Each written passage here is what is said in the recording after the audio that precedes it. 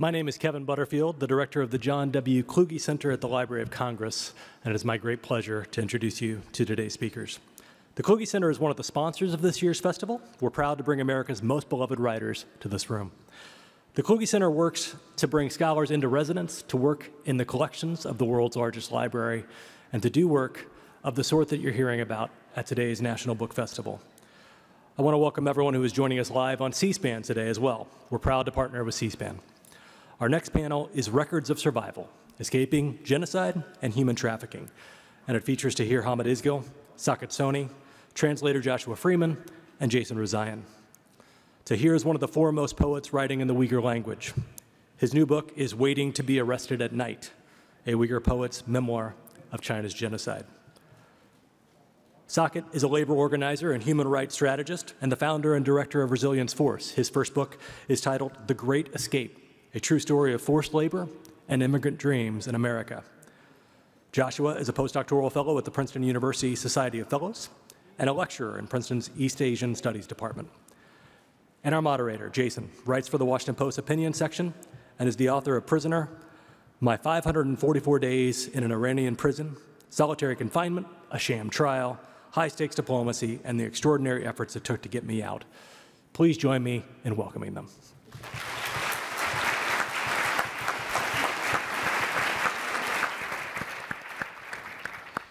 I want to thank everybody for being here today and everybody watching at home.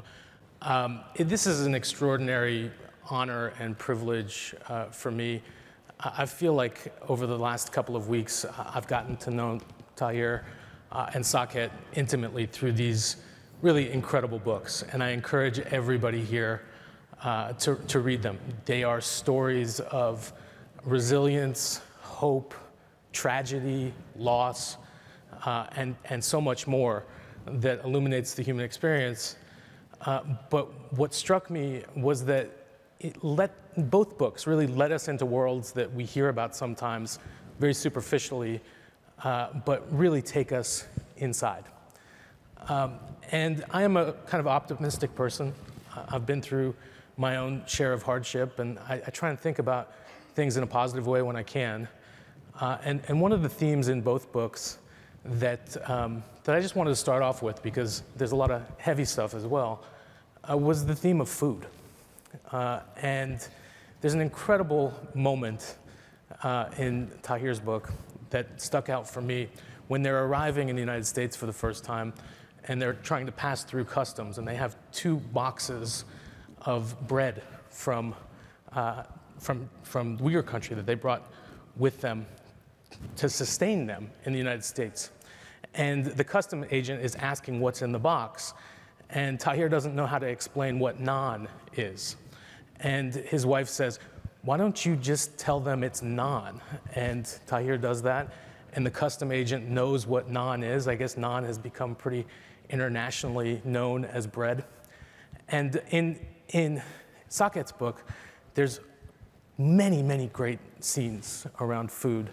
Uh, and I, I, would like to just start by talking about uh, the, the comfort uh, that food brings uh, to, to you both, to the characters in your book, and the peoples of your communities.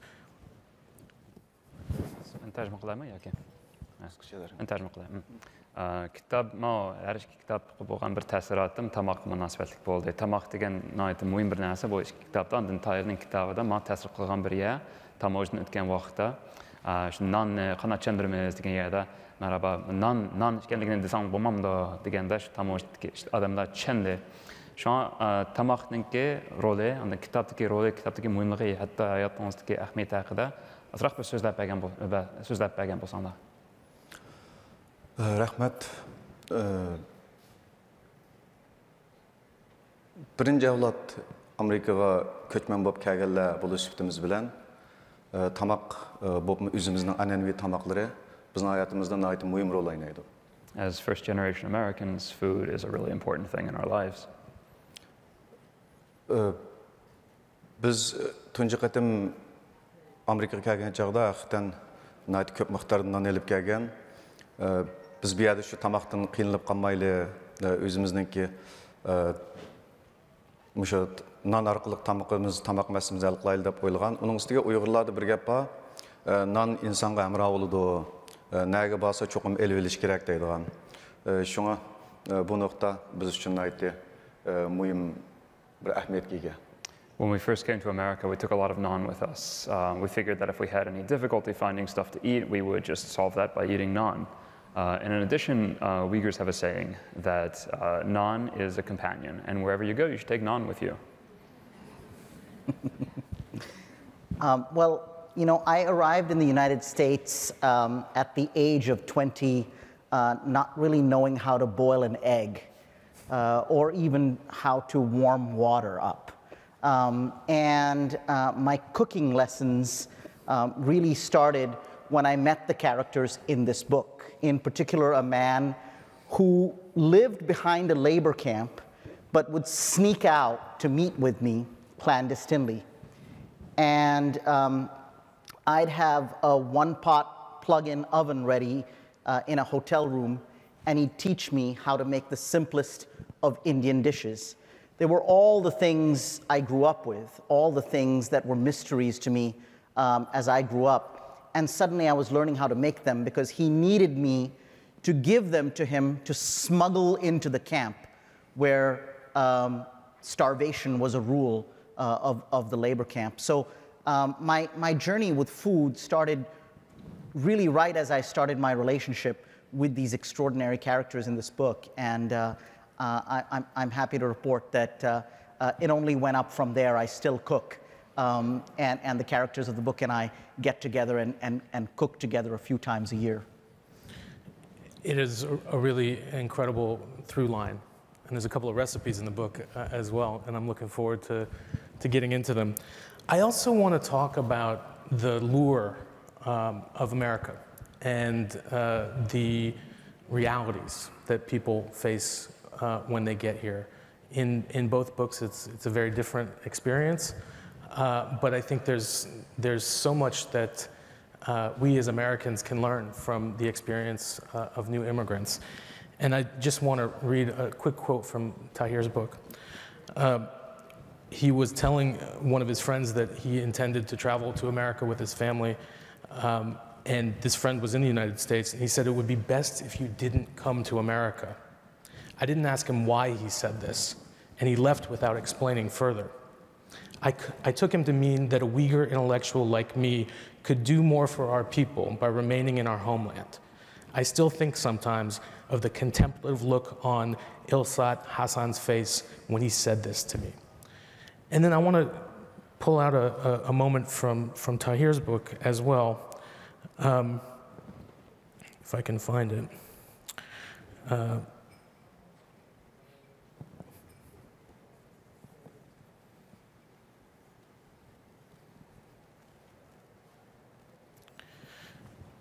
where they are kind of reminiscing about the experience of getting out of the labor camp years later. And it says, uh, one of, one of the, the workers uh, says, we're, we're Americans now. Why do we need to remember? And I think that it's so indicative of, of a, a fast moving country uh, that has its own past but doesn't think about it very much. So I, I'd like you both to ruminate a little bit on, on what the, the mystique of America feels like uh, from far away and the realities when, when people are actually confronted with it. Amerikanın gəlib qaldığı bilan Amerikanın reallıq haqqında bir nəsə sorğum var. Amerikanı jiraqdan görgəndə bir xil görünür, lakin bağlandan ki reallıq bəlkə başqaça bolışı mümkün. Bolubmu? Ma İlşad Həsənin gibi mənə bək təsir qıldı. Hmm. Bu yerdə qalmasan bu qədər vətənə qayıtsan ən, ən yaxşı deyilən gibi mənə bək təsir qıldı. Şu an şu şu yaxda durub bəlkə Amerikaya qarab his qılğanlarınız bilan bu yerə gəlgəndən keyin ki təsiratınızı sürüşdürüb bir nəsə deyə alamsınız. Əlbəttə asli biz plan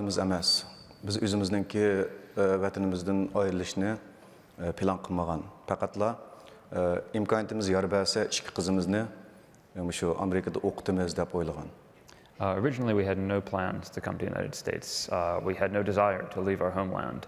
Uh, the most that we had originally thought about was that for our daughter's future, we hoped that they would be able to study in the United States. Albatta bir buyuk davlat ekanligini amerikaga kelsak erkinlikka erishdiganligimizni o'zimizniki bexatarlikka erishdiganligimizni bilatdik Uh, of course, we knew that America is a great country, that if we, if we went to the United States, we'd be safe, that we would be free. We knew that. lekin biz majburiy kelgan bo'lg'achqa amerikaga kelib amerikadagi erkinlikdan bahramon bo'lishdan ko'ra bakrak o'zimizniki vatandan ayrilgan azobli hissiyotimiz kuchli bo'ldi But we came to the United States not really of our own choice. We had to come. And because of that, uh, since, we've, since we've been here, uh, more, even more, or even stronger than the sense of receiving freedom has been our suffering from having to leave our homeland.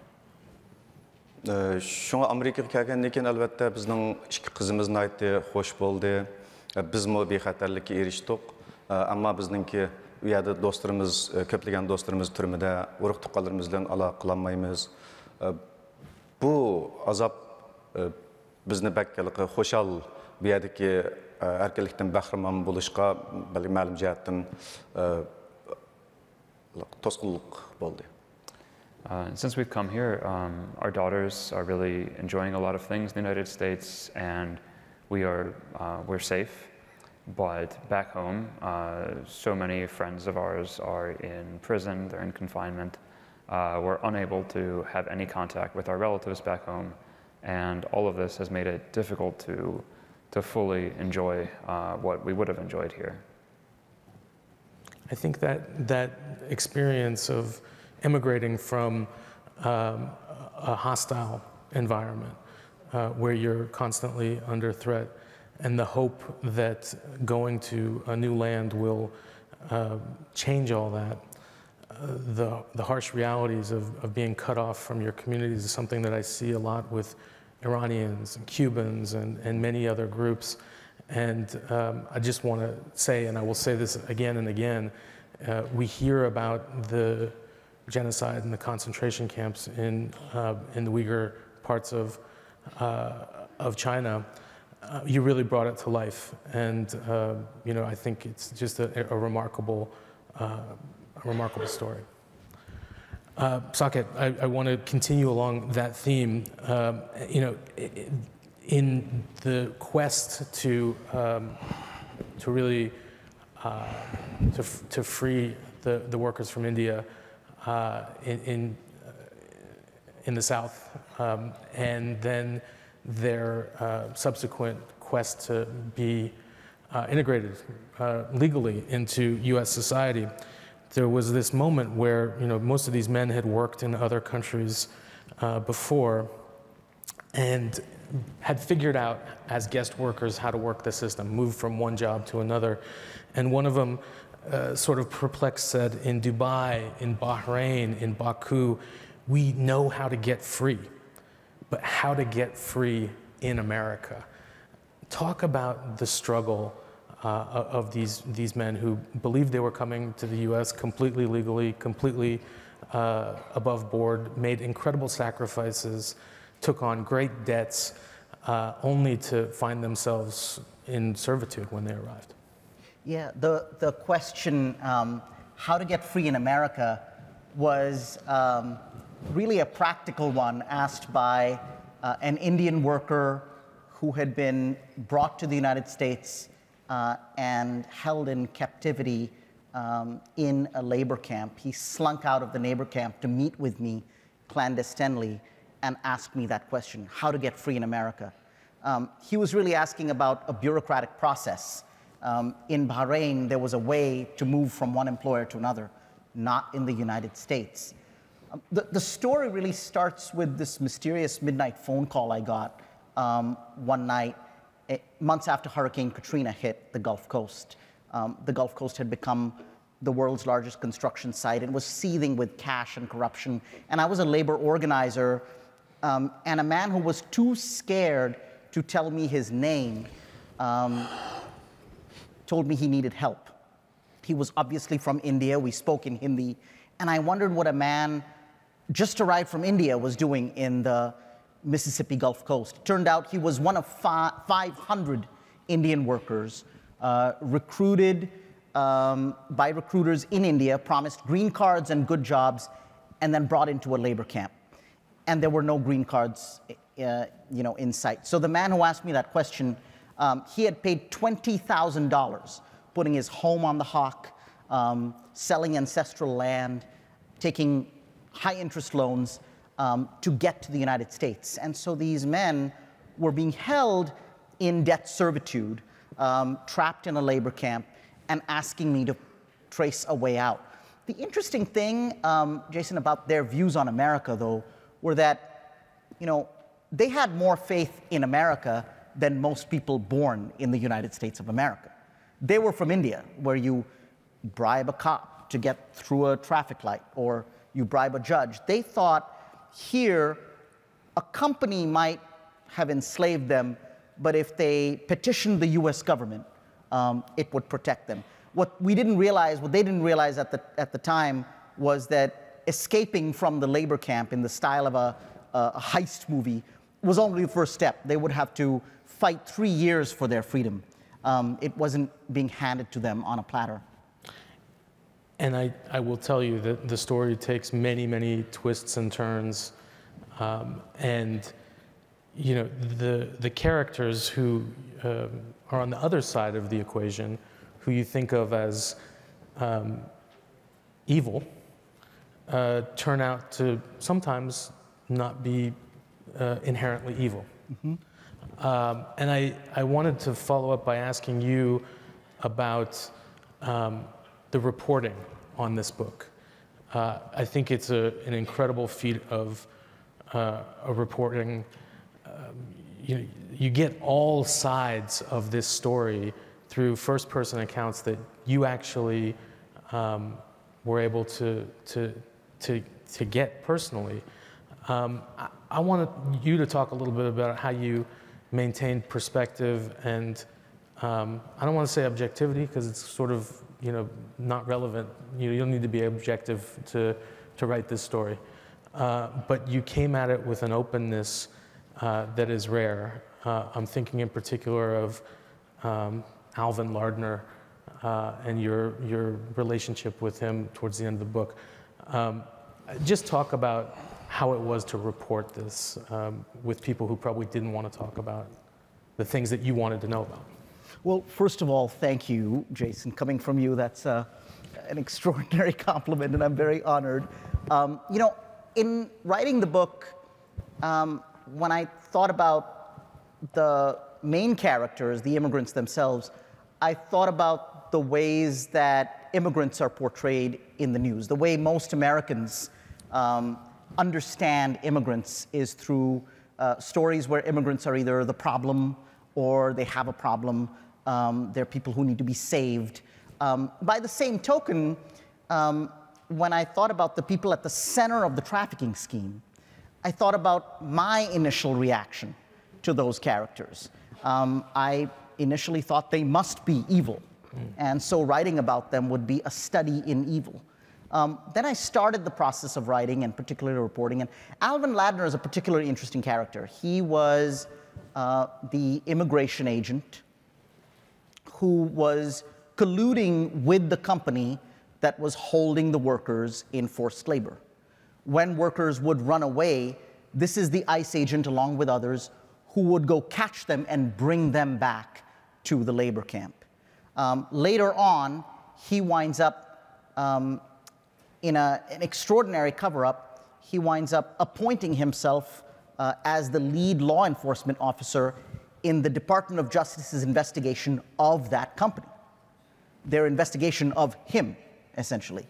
Um, and um, all of this unfolded as I was writing, so I decided to find this Alvin Ladner, if he was still around.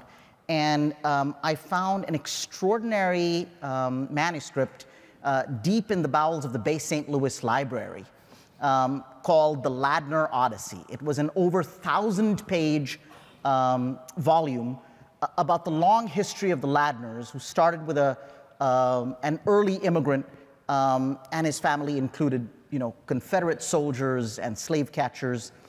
Um, and I called up Mr. Ladner, and he agreed to meet with me on the steps of a church in Mississippi, uh, a library, sorry, in Mississippi. And I met with him. And what I wasn't ready for was that to really understand his role in this saga, I actually had to treat him like a human being.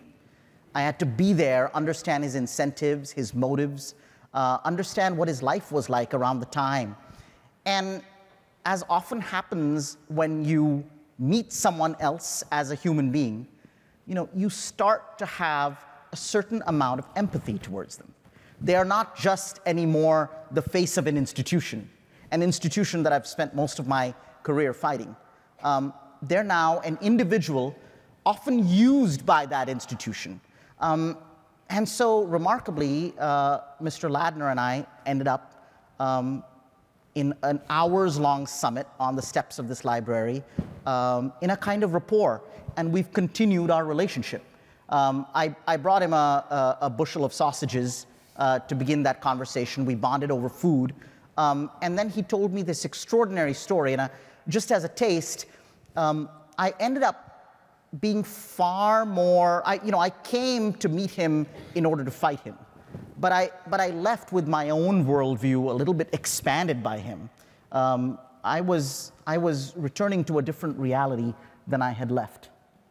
I, I want to reiterate, it's an incredible um, feat of reporting that um, you know I think will be taught in journalism classes for a long time. So it's Thank just you. A, it's great.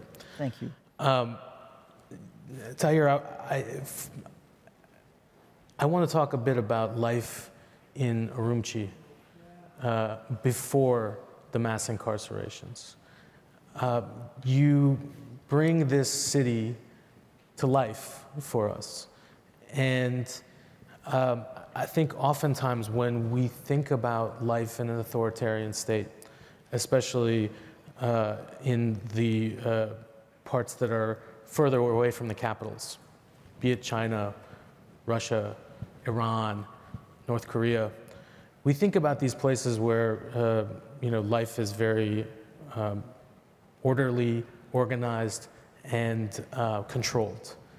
Uh, but there are clearly um, cracks in the system. There are differences of uh, opinion among people in the system. There are good guys, there are bad guys. Uh, it, it's a, a three dimensional place. Uh, I'd like you to talk about life there and the slide towards a surveillance state that, um, that it became. сіз найт образлық найт жанлық тәсвірледіңіз біз э, мына контрол астыдагы болып музтабит дөләтлердеги турмушны біз ойлаган чагда біз найт ешқандай ючук жоқ бір э, ойлаймыз әмде бүтін контрол ичиде деп ойлаймыз. Әмелиятта ючуклар бар әмілият системаның ішінде әр хил адамдар болады яхшы адамлар болады яман адамлар болады һәр хил адамлар болады э, сіз чоң тұтқынды бұрынғы үйренміштікке күнділік тұрмыс хақыда азырақ сөзләп анден азда азда мұшындақ чоң тұтқын мұшына иғыр зұлымға кетіп барған жарыяны бір азырақ бір сөзләп берәмсез чоң тұтқындың бұрынғы тұрмышымыз гәрче найты жық режимла жық бесімла болсымы ама ян давамлышатты чүнки бұдды мұтлақ әркілік болмағандек мұтлақ режимі мәвжүд емес Our life before the mass internments um, even though there were all kinds of controls, even though there was all, kind of pressure, all kinds of pressure, uh, life went on. Because just like there's no such thing as perfect freedom, there's no such thing as perfect control either. Biz nurg'un ahvol ostida kundalik turmushdagi mayli kuzatish bo'lsin tekshirishlar bo'lsin yoki har xil shakldagi turmushning butkul taraf taraplari singib ketgan taqiblar bo'lsin Bununla insanlar könüdü. Bu köniş degen bu ruhi halat insaniyetin mühim bir alayligi. Even though there was surveillance all over the place, and even though the different forms of control seeped into every aspect of life, one gets used to it. Uh, that's one of the most important parts of being human, is our ability to get used to things. Şuna biz turmuşumuzdaki nurgunluğan rejimlerini, bizden bir neçe dostlarımız var, bular o'ltirib biz uni yumorga aylantiramiz biz uni chaqchaqqa aylantiramiz mushundoq qilib yurib biz ruhiy jihatdagi o'zimizning kayfiyatimizni tanqid etmag'anmiz And these different kinds of control and these different types of repression, actually, when we spent time with our friends, we would make jokes about them. We would turn them into humor. And that was a really important way for us to deal with them and to go forward in our lives. мұшында бір xil ruhiy jihatdagi bir xil aşı məsələlərini yaxşı həll qilishning yoki shuning taqobil turishning yo'llarini biz ijod qilamiz anadan keyin har qanday qiyin sharoitdami ba'zi so'zliklarni ba'zi o'zimiz xos tillar orqali bir birimizga shunday bir zulmni ifodalaymiz masalan kitobdimi bor tutqun qilingan yotoqda bolnist yetib qolibdi uyga soqchilar mehmon keldi vaziyat o'zgarganda shamol chiqdi degandek We would invent all kinds of ways to deal spiritually with the impact of what was going on. Uh, just to take one example that's in the book, uh, we would find ways to express, we'd find our own language to express what was going on. For example, if somebody were sentenced to prison, uh, we would say they were in the hospital. Uh, if a police officer was in our home, we would say uh, we have a guest in our home. Э, шоңо күнділік тұрмышымыздыңке тарап тараптерге сыңып кеткен бұл ылғы зұлым э, тұрмышымыздың әмме тарап сыңып кеткен әмілет оныңдан құтылыш э, мүмкін емес бұнда қабаласыда шу бірден бір жол оныңғы көнүш ва оны бір қыл актив тарапке бұраш арқылық аятын давамлаштырыш And this kind of repression seeped into every aspect of our lives. There was no way around it. Uh, the only way to deal with it was simply to get used to it. uh, and to find ways to allow ourselves to continue through our lives day by day. Әмді 2017 жылдығы чоң тұтқындым бұрынғы hayatımızdımı qadamma qadam besim eshib mangan bundaq besim bizning vatanimizda izchil davomlashib keldi And before the mass internments began in 2017, uh, the repression in our country increased step by step. Uh, it wasn't a sudden process. Біз әмді мұшындағы күнділік тұрмышымызда, мәселен, айшын айтты, кадрлар өйлі кірді, кіріп үйіміздікі, біздіңке dini itiqat uyimizdiki pilalik tug'utqi bo'ysunish, bo'ysunmaslik ahvalimizni, anandikin mehmon sirtdan mehmon keldimi, u qanchalik turdi, u kimlar, mushuning hammasi butunlay nazorat ostida turdi. Bunda misollar intayin ko'p. Uh, there are many examples, but just to take one of them, uh, neighborhood committee cadres would come into our homes and they would ask us questions about our religious observance. They would ask us questions about whether we were following the government's birth quota policies, about whether any guests had come to our home. Bunda qishlarni beshdan kechirmagan odamlar tasavvur qilishi bak bu. Yozdim. Bu bir muhim bir. For those who have not been through things like this, uh, they can be pretty difficult to imagine. So in the book, uh, I tried to bring this home to people with small details uh, by focusing on uh, different aspects of this and how it manifests in your daily life. Just want to follow up. Um, you talked about uh, the importance of humor, and uh, there is a early chapter about your hubris and um, I think really acknowledging a very self-aware book that you know you didn't think that it could go this way or would go this way. And I think in states like China, Iran, other authoritarian countries, um, the, the, the, the, grounding out, the, the killing of humor is such an important part of uh, the system's agenda. Scare you into not uh, being able to laugh, even as the things that they are doing or forcing you to do become more and more comical and farcical. Um, I'd like you to talk about that a little bit, and then I'd like to know um, the book gets increasingly uh, fewer jokes and more serious as it goes on. Can you laugh again? Yumor haqida bir narsa so'rag'im kelyapti xudo. Bu kitobda yumor xili bor. Bo'libmi dastlabki bablarni birisi bilan ko'ranglashim. Yumor degan xili uchraydi bu kitobda, ammo mana mustabid hukumatlarning bir maqsadi yetmoqchi bo'lgan bir nishoni yumorni yo'qotish. Kitobda his qildim, kitobni o'qigan sari chaqchaqlar azlaydi, yumor azlaydi. Э, кийинки бабларда юмор азыраак ошон э, ушу э, юмор хақыда азыраак бир сөздөп берсеңиз анда яна бирси мындай азыр юморны сіз яна кайтарып ала алдыңызбы юмор юморға яна эриштиңизби акыктан ошондогу дастлапкы мезгілдерде біз күнлік турмушта болуп аткан өзгөрүшлөрүнү ошондой юморго айландырдык. Өзара бір бірімізге чақчақ кылыш арқылы бір бірімізге чақчақ қылып әтта өзімізді заңлык қылыш арқылы бір кыл юмор ижад қылаттық It's true. In the earlier chapters, there's a lot about uh, humor. It was a big part of our lives, uh, making jokes about everything that was happening about us, around us, and even making fun of ourselves. It was really important. Uh, Albatta, uh, hükümet taraf uh, bunda bir xil yumurlarni, chaqchaqlarni yaqtirmaydi. Ular bunda chaqchaqlarni yaqtirmayli qolmay, adabiy asarlardan, shaxsan she'rlardan har xil ma'nolarni izlaydi. Ashningdan o'ziga qarshi bir xil ma'nolarni boy yoki tepib olsa u odam ovorchilikqa uchraydi Of course, the government uh, does not like humor, um, and it looks for all sorts of uh, real or imagined anti-government messages, even in poems or in song tests, uh, texts.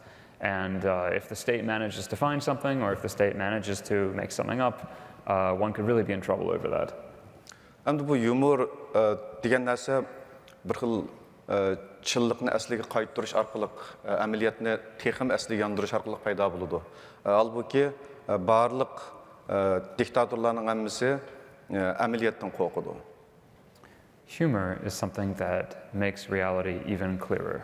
Humor is something that gives reality back to us. And reality is precisely what a repressive government is afraid of. Kitapta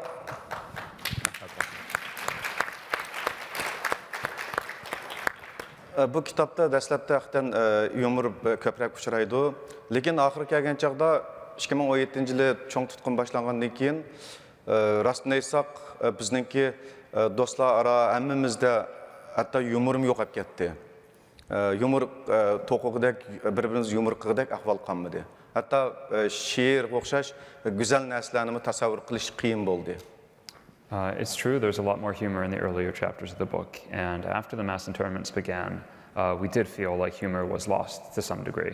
Uh, it was even a little hard to imagine beautiful things like writing poetry. Bunda havalası dememiz hammamiz bir xil jimjitlikni, ya'ni bir xil. In a situation like that, we all chose silence. Amerikaga kelgandan keyin hozir shu bu jashmu uzun yillik do'st biz yil ham yana davomli ash vaziyatni shu yerda bo'lgan ishlarni yumor qilamiz shu yerda bo'lgan ishlarni chaqchaq aylantiramiz shunday bir xil shunday bir xil usul bizda hozirgacha yana davomlashdi amerikaga kelgandan bu qayta bizda yana qayta davomlashmayotidi And after we came to America, uh, we got the humor back. Uh, Josh is an old friend of ours, and he lived in our homeland for a long time. So with him and with so many of other friends of our other friends here, we do use humor as a way to deal with it all. I'm glad to hear that.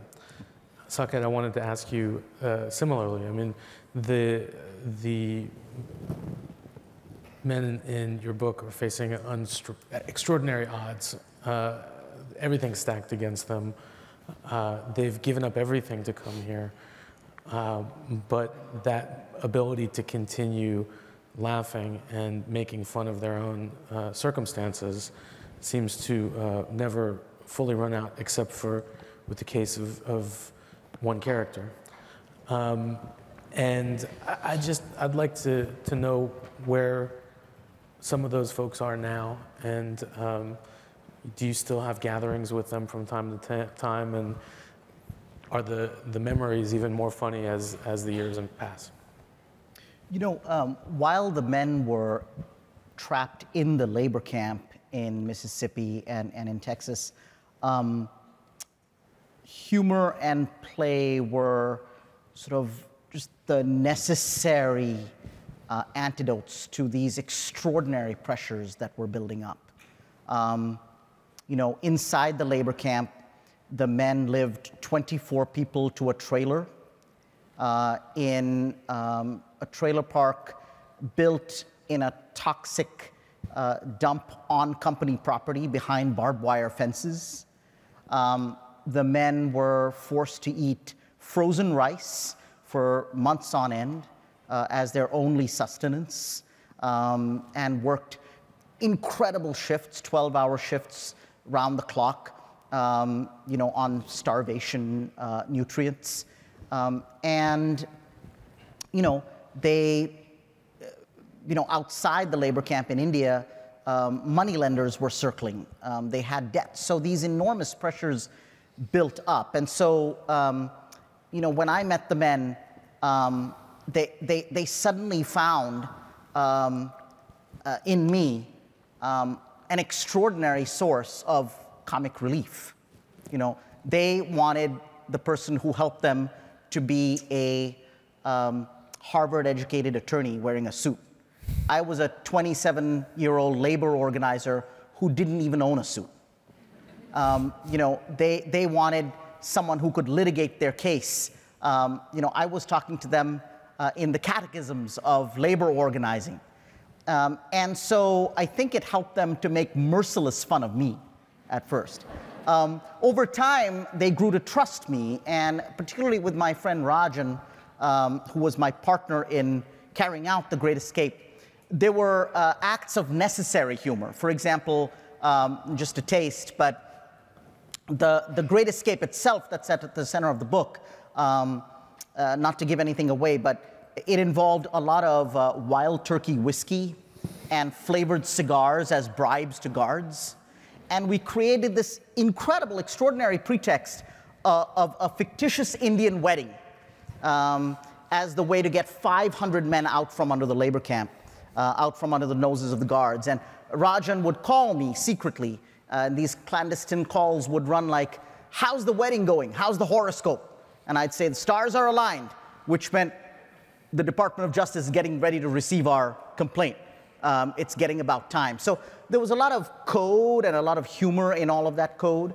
Um, you know, uh, wonderfully now we can all sit, eat, and make jokes uh, in the freedom of America. Um, the men did escape from the labor camp. Um, I had the incredible pleasure of attending their citizenship ceremonies year after year, um, and we still have um, Thanksgiving gatherings to commemorate um, those dark days in the labor camp when men were starving and would dream about food. Do you make dal for that? I, dow, I now do make dal, although uh, you know those those Thanksgivings are uh, a little more extravagant than that. There's a there's a lot of mutton curry. Fantastic. um, I, I want to encourage folks that have questions. We've got microphones up here. I've got a couple of more questions I'd like to ask, but um, I think we should maybe start lining up because uh, I hope there's many. Uh, this is a good crowd. Um, Tahir, uh, I think a lot of times we uh, look to uh, these countries, uh, these situations of repression, and we think about those societies as somehow antiquated or behind. One of the things that really struck me was the way that the Chinese Communist Party uses technology in very sophisticated ways to track the movements of Uyghurs. Um, and there are scenes where you talk about the, the uh, equipment and, and tools that they use to do that. We think here of, uh, of technology as sort of a benefit of living in the modern world. Uh, in many ways, it, feels like an enemy in your book. Um, has that gotten progressively worse? And um, is there any hope that uh, the use of technology in China uh, could be uh, for the benefit of people rather than uh, for the overall repression of them? Biz daim shunaqa mustabid davlatlarni o'ylaganda bir xil keyin qolgan davlat deb tasavvur qilamiz. Amaliyotda ammo sizning kitobingizni ko'rganda men his qildim. jungo Kompartiyasi har xil yuqori texnikadan foydalanib o'ziniki zulmini kuchaytirdi. kitobni olgan cho'ng bir taassurotim shu bo'ldi shu men sizdan so'ramoqchi bo'lganim shu jungdagi yuqori texnika sizningcha balkim ijobiy taraflari bo'lishi mumkinmi keyin яки пақат мушу зулум тарапқа карап маңамды. Техника хакыда мушу болмо назарат назаратка мунасабатлык техника хакыда ойлганларыңыз азыраак бір һәм бәһрләп бәргән булсаңыз бу назарат системасы э, техниканың тарапи кылышы э, инсан үчүн пайдалык бир э, пайдалык бир нәрсә бу әсле пайдалык тарапка иштетилсе әлбәттә яхшы булыды Of course, technology is invented so that it will be useful for humanity. And obviously, there are all kinds of positive aspects uh, of technology, things that it brings to us. lekin nurg'un diktator davlatlar bo'libmi xitoy kompartiyasi bu texnik jihatdagi ortiqchilikni xalqni kontrol qilishga xalqninki kundalik hayotini kuzatishga Uh, but in many dictatorships, uh, notably uh, in the People's Republic of China, uh, the government is using technology as a way to surveil uh, the people. Bu albatta hammamizning ko'ngilni yerim qiladigan ham bir xil texnikaga nisbatan kishilarni o'ylantiradigan bir masala. Uh, of course, this is a really depressing reality, and it also makes one think uh, about the implications of technology.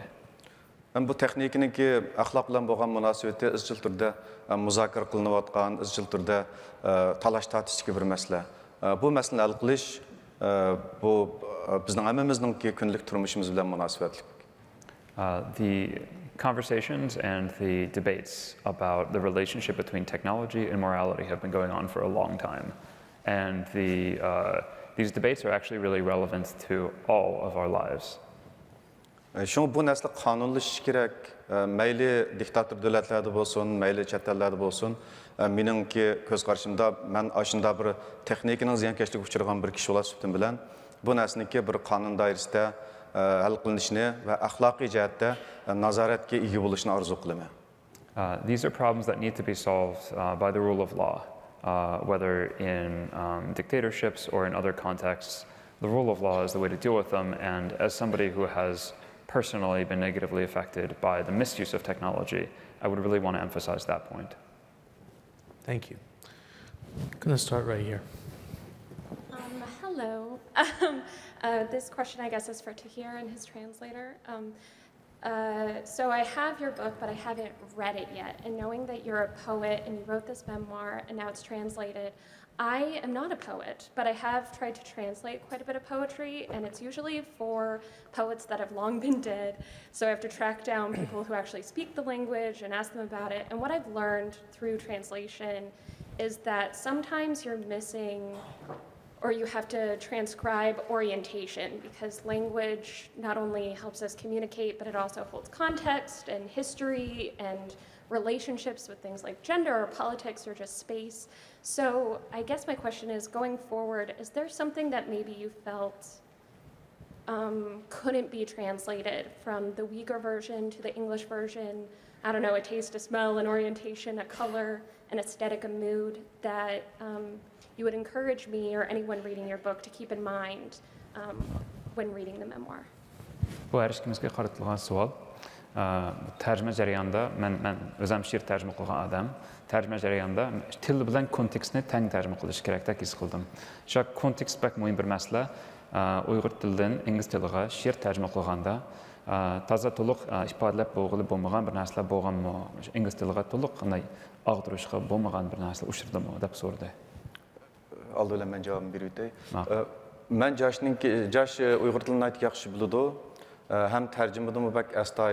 Ham butun shu she'rlarni tarjima qilgan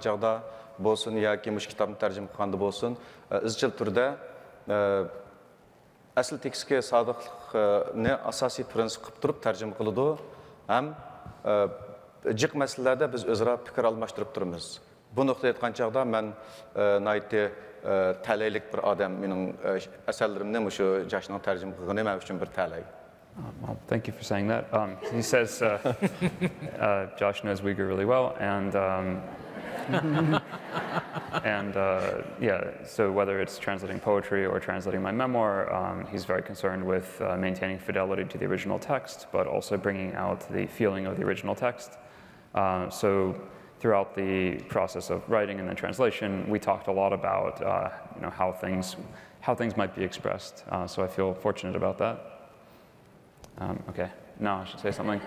Um, yeah, between, between any two languages, obviously, uh, there's some things that'll be harder to get across, some things that'll be easier. Um, there are definitely, I have sort of a, a, running list in my mind of, of words and concepts that exist in Uyghur that either don't exist in English or that take a lot of a lot more words to express in English.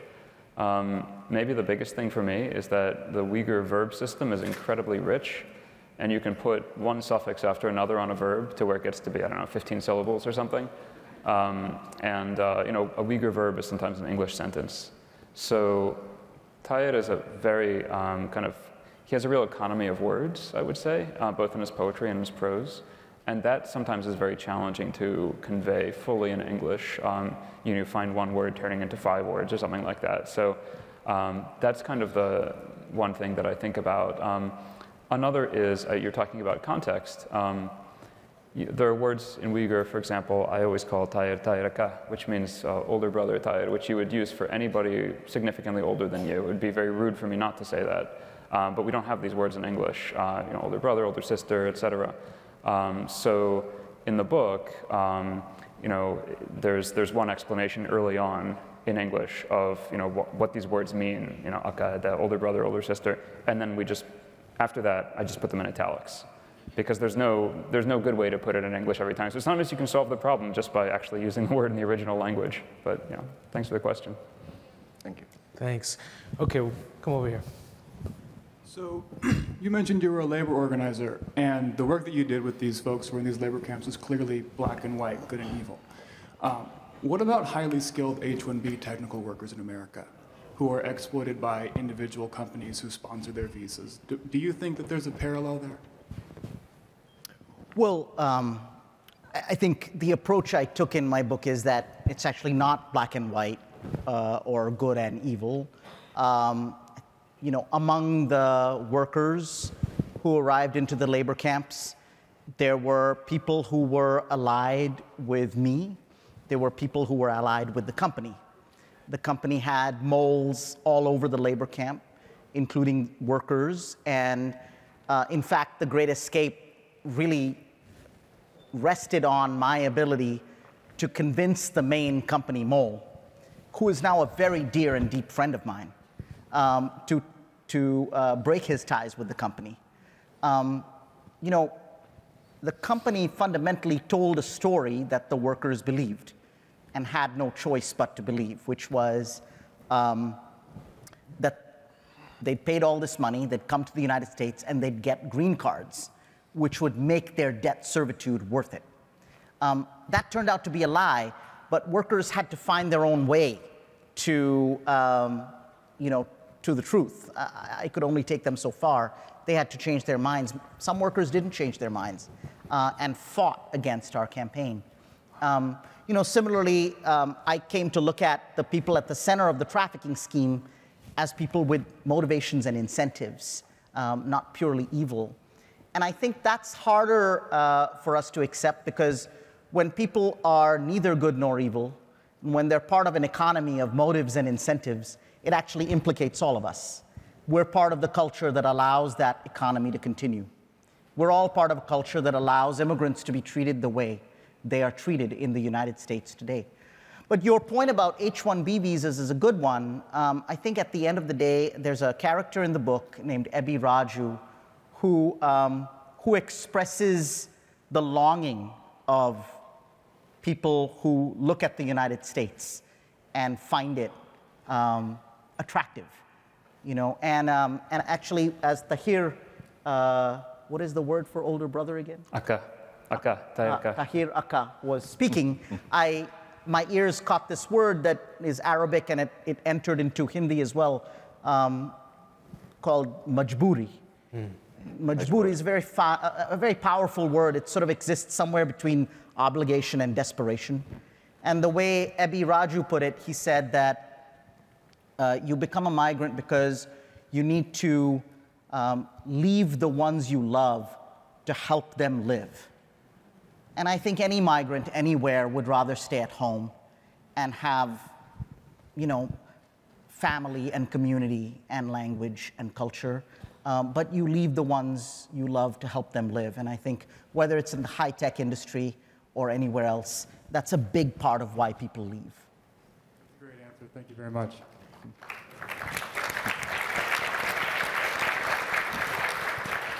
We're going to have time for a few more questions, but uh, if we don't get to all of them, I want to encourage everybody uh, to visit Tahir and Saket at, the, at their book signing booths uh, after the session.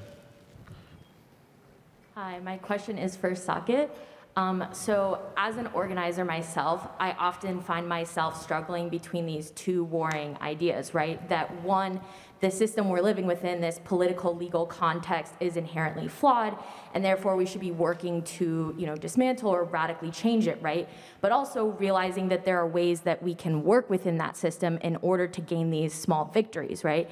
So my question is, how do you sort of wrestle with these two ideas, you know, and recognizing that, you know, you have to sometimes work within this inherently flawed and exploitative um, system in order to help people to find justice and to, um, you know, live better lives. Well, thank you for uh, your work as an organizer, firstly. Thank you for carrying on. Um, you know, I struggle with that myself. Um, I think that um, it's important when you're an organizer to have time to really understand the interior lives of the people you're organizing. Um, they're not clients, they're not uh, people with a problem. They're people with sometimes more complex motivations than fit a simple press release or a straight line story about why an immigrant came or why someone needs asylum. You know, um, ideally, um, the laws of the United States would be updated to reflect humanity and its passions and complexity. Uh, unfortunately, we're always having to fit people into decades old rubrics. Um, I tell the story in the book about how I was sitting with one of the main characters of the book and helping him fill out an application for a humanitarian visa meant for victims of trafficking. Uh, and I said, Look, what's the most important thing you need to tell them? And he said, Well, it's that I missed the birth of my son.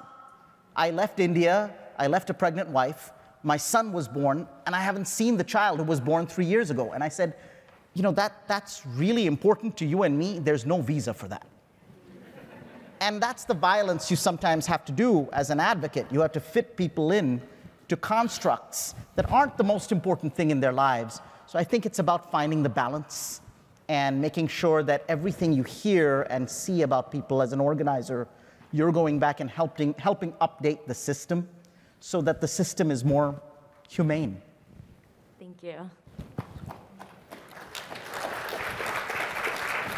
Thanks. Hi, um, Sean Carberry, and um, similar, I, I did a lot of journalism dealing with traumatic, difficult topics, and I'm curious about sort of your psychological and kind of mental health approach to having dealt with the stories that you were dealing with, seeing the things, hearing the things, um, how you compartmentalized, how that experience changed you, sort of where you put that, you know, how, how you work with that aspect of, of really absorbing a lot of things that are painful and also cause a lot of anger about what innocent people are going through. So how, how do you, you know, process that aspect of the experience?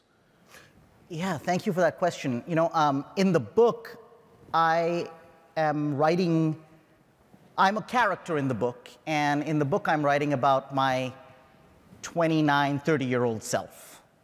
Um, and that organizer uh, did a terrible job of, um, you know, uh, being kind to himself, being kind to others, uh, and connecting deeply uh, with, um, with uh, you know, the complexities of trauma. Uh, all of that made for a much better character in a much better book, um, but that character did a very bad job of it. Um, I think um, one of the things that changed me was um, surprisingly in the midst of this very intense campaign, the thing that sustained me was my friendships with these men. And those friendships were really transformative. When I met them, I was a 20 something organizer who had lived in the United States for a long time. I, um, you know, I was um, estranged from home, um, from my parents. I hadn't called home in months. Um, my Hindi was rusty, and my connection to my origins were very frayed. Um, and the last people I expected to meet in the middle of the Mississippi Gulf Coast were 500 people from India, many from my hometown. And in a way, friendships with them helped me return home. And I think that's something that can sustain all of us uh, in a life of making change, is being connected to, uh, to your own home, whatever that might be for you. Um, that's what these men did for me, and I hope that for those of you who are out there, whether they're courageous librarians, you know, fighting, uh, you know, uh, public um, rancor or organizers, labor organizers, that you have a way of coming home at the end of the day, where you can connect with the things that sustain you and the things that made you. Thank you. Um, I loved your epilogue. Like, I loved the whole book, but specifically the epilogue I thought was so interesting, and I've like thought about it so much since I've like reread it and reread it. I was just wondering if you might. Are you talking to me? Yes, Saket. Sorry. Thank you. Sorry, sorry. That's amazing. Um, Appreciate that. I'm so sorry. I, No, I no, bought no. your book today, Tahir, and I will be reading it. It wasn't. Um, I couldn't find it before, um, and I'm looking forward to it. But yes, no, your epilogue is so good, and I was wondering if you might be able to expand upon the like nuance of choosing to remember and choosing to forget, and how sometimes when we choose to remember something, we might be choosing to remember like a false narrative, or like choosing to like forget certain pieces, or like I don't know. I'm just like so curious. I would like love to read a full book like of like your expanded epilogue. That's all. Thank you so much. The, the idea for the epilogue was really handed to me in a conversation where I um, would go back to these workers um, after many years and say, Well, I want to write a book about you. And some of them would say, Absolutely, we have so many stories. But others would say, uh, as Jason quoted, We're Americans now. Why do we need to remember all that? And it seemed like, even as new Americans, um, it seemed like something that, that seemed to them to come with the, the, um, the, the uh, um, uh, American passport was the right to forget history. Um, that's so much of what we think um, that America is the right to have a fresh beginning, yes, but that's unfounded in any history. And I, and I wanted to write an epilogue that went into the mysteries of that um, and unpack that a little. So thank you so much for reading that. This is going to have to be our last question, sir. Please. Okay, so this is a question to Tahir. I wanted to ask about the adapting to living in a surveillance oppressive state and also this role of hiding reality, as you mentioned, that reality is the greatest threat to, to an oppressive state, because ultimately you made the decision to escape. Some of your peers might have made this decision, might have not.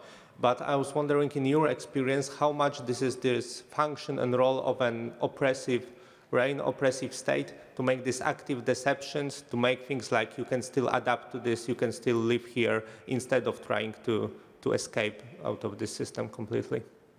Josh, we have to keep it a little bit short. I apologize. Ya, mush zulm astida yashashqa ko'nish haqida biz so'raydi ekandim. Reallikni yoshirishni tilga oldingiz, amaliyotni yoshirishni tilga oldingiz.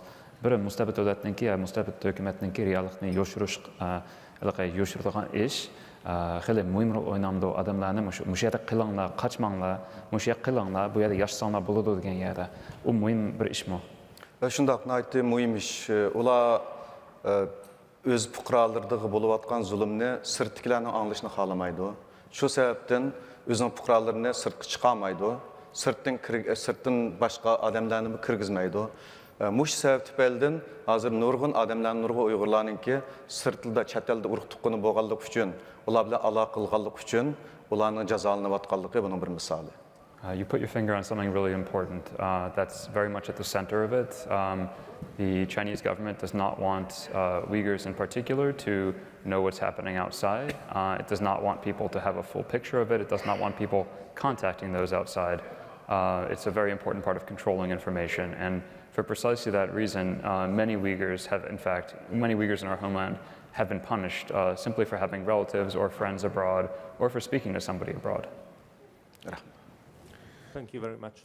Thank you, everybody, for coming. I want to encourage you all to buy these two extraordinary books, read them, share them. Thank you.